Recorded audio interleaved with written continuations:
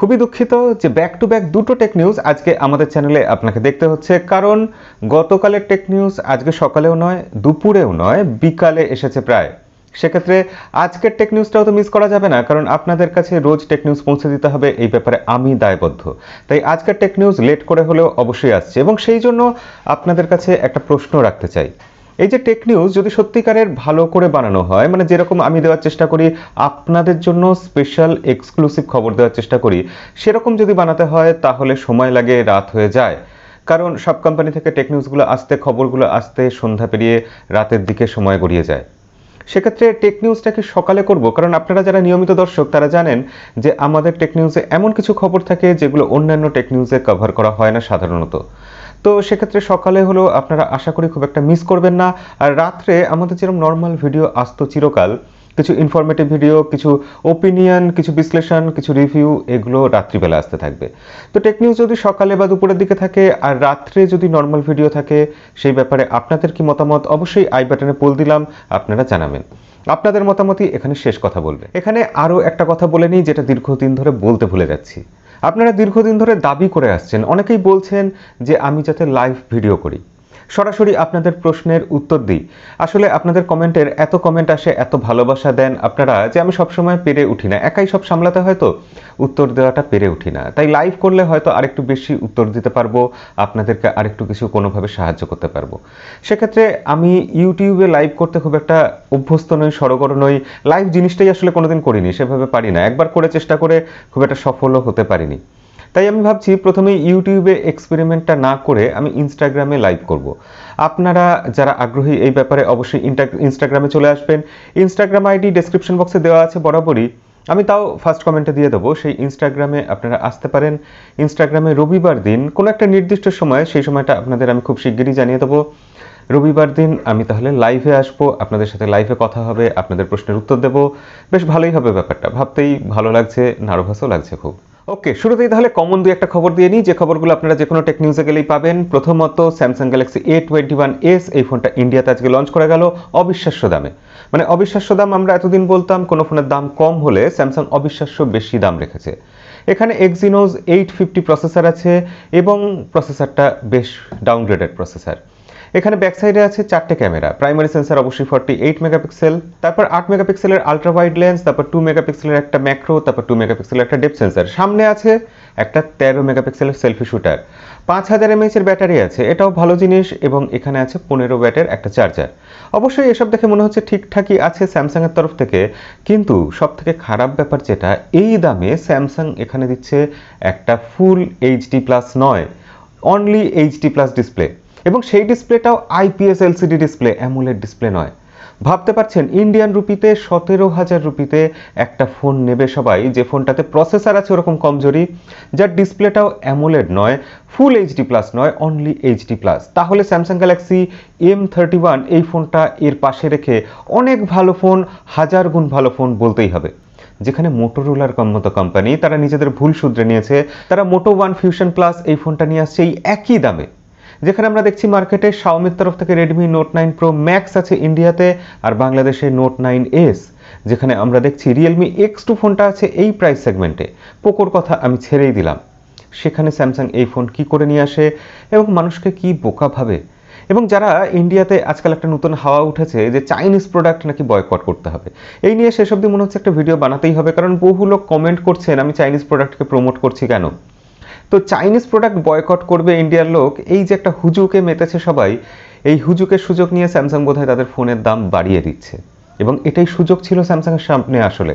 যে স্যামসাং আবার ফিরে আসতে পারতো স্যামসাং ইন্ডিয়ার মার্কেটে এক নম্বর হতে পারতো, বাংলাদেশে আবার ভীষণভাবে ব্যাক করতে পারতো, কিন্তু স্যামসাং সেই সুযোগের মিস ইউজ করছে, ভুল ব্যবহার করছে, তারা উল্টে কিছুদিনের লাভ দেখছে, উল্টে বেশি প্রফিট করার চেষ্টা করছে। যাই হোক, এই নিয়ে বিস্তারিত কথা হবে পরে। কোনো একটা ভিডিও আনব। ডেডিকেটেড ভিডিও যেখানে ইন্ডিয়াতে চায়নার প্রোডাক্ট বয়কট করার যে হুজুক উঠেছে, সেই নিয়ে আমার ওপিনিয়ন আমার বক্তব্য রাখব অবশ্যই। দ্বিতীয় কমন খবর, যেটা আপনারা সব জায়গা থেকেই প্রায় শুনে নিয়েছেন, যে রিয়েলমি এক্স থ্রি ফোনটা পঁচিশ তারিখ, পঁচিশে জুন লঞ্চ করছে। এতদিন এম্বার্গোর জন্য আমি বলতে পারিনি, আজকে রিয়েলমির তরফ থেকে এটা অফিসিয়ালি জানিয়ে দেওয়া হয়েছে। এবং রিয়েলমি এক্স থ্রি এই ফোনটা গ্লোবালি লঞ্চ করেনি এখনও ইন্ডিয়াতেই ডেবিউ করছে।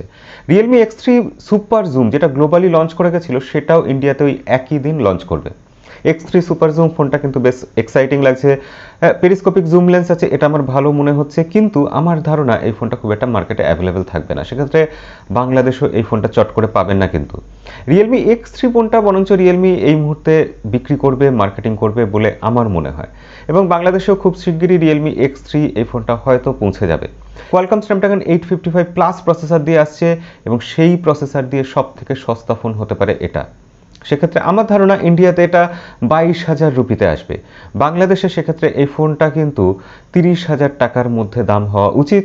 সেক্ষেত্রে এই ফোনটা কিন্তু ভালো কম্পিট করতে পারে এর কম্পিটিটারদের সাথে। পরের কমন খবর যেটা সব জায়গায় শুনেছেন কোয়ালকম স্ন্যাপড্রাগন তাদের সিক্স নাইনটি জি প্রসেসরটা লঞ্চ করে দিল। মানে তারা বাজেট সেগমেন্টে একটা ফাইভ জি প্রসেসর লঞ্চ করল। আসলে সেটা তাদের করতেই হতো, সেটা তারা দারুণ কিছু করেনি। কারণ মিডিয়াটেক যেভাবে বাজেট সেগমেন্টে কম দামি ফাইভ জি প্রসেসর লঞ্চ করছিল মার্কেটে টিকে থাকতে হলে কোয়ালকামকে এটা করতেই হতো। তারা বলছে যে এই প্রসেসরটা কোয়ালকম, স্ন্যাপড্রাগন সিক্স সেভেন্টি ফাইভের সাকসেসার এবং এখানে সিক্স সেভেন্টি ফাইভের থেকে সিপিইউতে পারফরমেন্সে টোয়েন্টি পার্সেন্ট আপগ্রেডেশন হবে এবং জিপিইউতে এখানে সিক্সটি পার্সেন্ট এক্সট্রা পারফরমেন্স আমরা বেশি পাবো।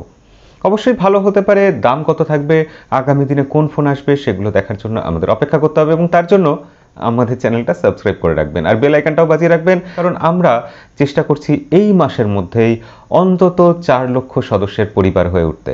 আপনারাও তাই আমাদের আমন্ত্রণ রইল, আমাদের পরিবারের সদস্য হন, আমাদের সাথে যোগদান করুন। পোকো অনেকদিন ধরে কোনো ফোন নিয়ে আসছে না, কিন্তু ফোন আসবে আসবে করে তার অনেকদিন গল্প শোনাচ্ছিল। ইন্ডিয়ান সিইও পোকোর তরফ থেকে সি মনমোহন তিনি একটা সাক্ষাৎকারে জানিয়েছেন যে পঁচিশ দিনের মধ্যে ইন্ডিয়াতে পোকোর কোনো ফোন লঞ্চ করবে। এবং শেষ অবধি ইন্ডিয়ার বিআইএস সার্টিফিকেশন সাইটে পোকো এম টু প্রো এই ফোনটা লিস্টেড হয়ে গেছে। এটাতে পাঁচ হাজার এমএচ ব্যাটারি আছে, তিরিশ ব্যাটের ফাস্ট চার্জার আছে গেজেট স্টেটার লিক থেকে আমরা এগুলো জানতে পারছি। পোকো এম টু প্রো এই ফোনটাকে আসতেই হতো এবং এই ফোনটা জুলাইয়ের শুরুতেই আসবে সম্ভবত, কিন্তু এর মধ্যেই, পঁচিশে জুনের মধ্যেই এর সব কিছু জানিয়ে দেওয়া হবে, কারণ রিয়েলমি এক্স থ্রির সাথে কম্পিট করতে হবে তো। তবে এই পোকো এম টু প্রো এই ফোনটা সম্ভবত কোনো নতুন ফোন হবে না। এটা রেডমির তরফ থেকে কোনো ফোন রিব্র্যান্ডেড হয়ে আসবে, অথবা এমআই নোট টেন লাইট এই ফোনটা রিব্র্যান্ডেড হয়ে আসতে পারে। রেডমি টেন এক্স এই ফোনটা রিব্র্যান্ডেড হয়ে আসতে পারে। কোন ফোন আসবে আমাদের দেখার জন্য আর কিছুদিন অপেক্ষা করতে হবে, তবে সেটা যে ফোনই আসুক, দাম আশা করা যায় ভালো কম্পিটিটিভ হবে, কারণ রিয়েলমি এক্স থ্রির সাথে এই ফোনটা কম্পিট করবে। নোকিয়া স্যামসাংয়ের মতোই আর একটা পথভ্রষ্ট ব্র্যান্ড মোটোরোলা যেখানে একটা চাইনিজ ব্র্যান্ড মানে লেনেভোর হাতে পড়ে নিজেদেরকে শুধরে নিয়েছে, সেখানে নোকিয়া এখনও ভুল পথে হেঁটে চলেছে। নোকিয়া এইট পয়েন্ট থ্রি এই ফোনটা অনেকদিন ধরে আসবে শুনছিলাম, আমরা অপেক্ষা করছিলাম, এবং এই ফোনটা জার্মানিতে অ্যামাজন ওয়েবসাইটে লিস্টেড হয়ে গেছে। অ্যামাজন জার্মানি থেকে আমরা জানতে পারছি six point eight one inch একটা full HD plus LCD display থাকছে, এবং Qualcomm Snapdragon seven sixty five G processor থাকছে, যেটা ফাইভ জি প্রসেসর অবশ্যই ব্যাক সাইডে চারটে ক্যামেরা থাকছে sixty four plus twelve plus two plus two megapixel ফ্রন্টে থাকছে চব্বিশ মেগাপিক্সেল ক্যামেরা এবং এই ফোনটার দাম রাখা হয়েছে অস্বাভাবিক বেশি। ইন্ডিয়ান প্রাইসে আমরা যদি এর দাম ধরি, পঞ্চান্ন হাজার রুপি। বাংলাদেশে এটা ষাট হাজার টাকার ওপরে যাবে, পঁয়ষট্টি হাজার টাকা ধরে রাখুন। সেক্ষেত্রে Qualcomm Snapdragon seven sixty five G processor দিয়ে এই ফোন আপনারা কি নেওয়ার কথা ভাবতেও পারেন? আজকে সকালের ভিডিওতে সরি আজকে বিকালের ভিডিওতে একটা তথ্য দিয়েছিলাম যে টেকনো স্পার্ক এই ফোনটা আসতে চলেছে। কি কি স্পেসিফিকেশনস নিয়ে আসতে পারে সেটার যা খবর এসেছিল সেগুলো আপনাদের জানিয়েছিলাম। কিন্তু সেখানে সবথেকে আকর্ষণীয় জায়গা ছিল যে সেটা থাকতে পারে অ্যামোলেড ডিসপ্লে না। টেকনো সেই জায়গাটাও আনন্দ করার জায়গা আমাদের দেয়নি। আজকে ইন্ডিয়াতে এই ফোনটা লঞ্চ হয়ে গেছে বাদ বাকি সব মিলে গেছে মানে সেই processor Helio P twenty two কিন্তু সেখানে ডিসপ্লে অবশ্যই একটা নচ আছে এবং সেটা এইচডি প্লাস একটা এলসিডি আইপিএস ডিসপ্লে এবং সেই ডিসপ্লেটা সাইজ সাত ইঞ্চি, কিন্তু সাত ইঞ্চি ডিসপ্লে যতই বড় হোক না কেন, আমরা কি করব এইচডি প্লাস ডিসপ্লে নিয়ে Helio P twenty two processor নিয়ে? আজকে সকালের সরি বিকালের টেক নিউজে আপনাদের কাছে জানতে চেয়েছিলাম যে আপনার ফোনে ব্যাটারি ব্যাকআপ কতক্ষণ থাকে? আপনাদের মধ্যে সিক্সটি সিক্স পার্সেন্ট বলেছেন যে আট ঘন্টারও কম ব্যাটারি ব্যাকআপ থাকে। পনেরো পার্সেন্ট বলেছেন, আট থেকে চোদ্দ ঘণ্টা থাকে।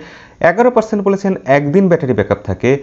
তিন পার্সেন্ট বলেছেন, চোদ্দ থেকে কুড়ি ঘণ্টা থাকে এবং থ্রি পার্সেন্ট বলেছেন, দুদিন ব্যাটারি ব্যাকআপ থাকে। আপনাদের মধ্যে প্রায় সাত হাজার দুশো পঞ্চাশ জন ভোট দিয়েছেন এবং আপনাদের অসংখ্য ধন্যবাদ ভোট দেওয়ার জন্য। তবে এটুকু বোঝা যাচ্ছে, আমাদের ফোনের ব্যাটারি খুব একটা ব্যাকআপ থাকে না। কারণ আমরা সবাই ইউটিউব দেখি, টেকনোলজি নিয়ে ঘাটাঘাটি করি, আমরা ফোনটা খুব বেশি ব্যবহার করি। না এখনও এমআই এ ফোরের কোনো খবর নেই। এমআই সিসি টেন এই ফোনটা আসবে আসবে শোনা যাচ্ছে। কিন্তু CC ten Mi A four নামে কখনোই আসবে না। সিসি টেন লাইট হলে সেটা এমআই এ ফোর নামে আসতে পারে, যেরকম আগের বার হয়েছিল। তবে একটা ফোন সেটা এমআই এর তরফ থেকেই একটা, কোনো একটা ফোন লিস্টেড হয়েছে চায়নাতে। এই ফোনটা সব কিছুই আপনারা এখন ডিসপ্লেতে দেখতে পাচ্ছেন এবং এই ফোনটা তিরিশ ওয়াটের ফাস্ট চার্জার সহ আসছে। ফাইভ জি ফোন হচ্ছে এবং মাই স্মার্ট প্রাইস তারা একটা লিক থেকে জানাচ্ছে যে এই ফোনটা নাকি রেডমি কে ফর্টি হতে পারে। কিন্তু এই ফোনটা লিস্টেড হয়েছে এমআই এর নামে শাওমির নামে। সেক্ষেত্রে এটা, সেটা হওয়ার খুবই সম্ভাবনা কম। আমার ধারণা এটা এমআই সিসি টেন ফোনটাই হবে, যেটার ব্যাপারে আমরা কিছুদিন ধরেই টুকটাক লিক পাচ্ছিলাম। আপনারা কি মনে করেন, অবশ্যই কমেন্টে লিখে জানাবেন, আর আজকের ভিডিও ভালো লাগলে লাইক করে দেবেন। দেখা হবে পরের ভিডিওতে আজকের ভিডিও এখানেই শেষ করব। আজকের মতো বিদায়।